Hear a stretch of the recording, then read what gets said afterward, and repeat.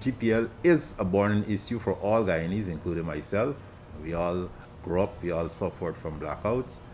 And if there's one thing I want to tell you and I want to promise you, is that this PPP/C government, the government that was sworn in on the 2nd of August, from day one, we start working towards ending blackout in Guyana and uh, returning the country to reliable electricity. In terms of the immediate measures, as I announced after visiting GPL, we want to buy um, power that is available locally to supplement what is produced by GPL.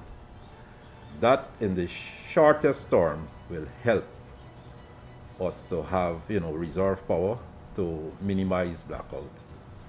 We're in the process of doing that. There's one contractor that we almost finished connecting to the to the grid, and I know that we're looking at um, other means of um, increasing the power available to, to GPL between now and, and Christmas.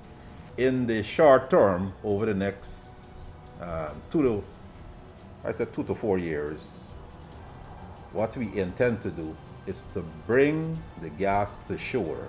We want to have a facility that between now and 2024 or before 2024 have the facility that can produce 200 megawatts of power because we believe that if we can produce 200 megawatts of power from the gas to shore project that, along with what we have available through GPL, will satisfy not only the domestic but the commercial and industrial needs of Guyana. We have to look at off the grid supply of electricity because what we've been talking about is really the Demerara Berbice interconnected system where we have GPL supplying power and uh, the, the projects that I outlined, the gas to shore. But then we have to look at the off the grid um, demands for electricity, you know, in the hinterland, in the other towns and villages. And as part of the energy mix, we're also pursuing solar energy, wind energy, and hydro um, power, energy from hydropower. So Amaila Falls is back with us as a project in the medium to long term.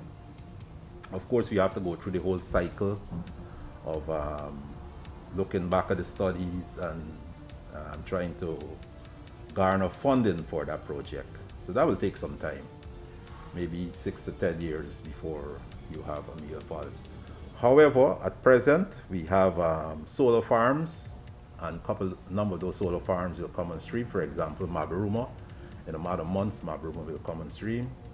We have mini hydros that we plan for different parts of the interior. You've probably heard about Kumu, right? Kumu Falls in Region 9, right? There's a lot of um, work, exploratory work being done in those areas. We have Kato. The project has started at Kato already. See, within the next five years too, we'll have a lot of power being produced in Guyana, especially off the grid in the hinterland and a smaller towns area through renewable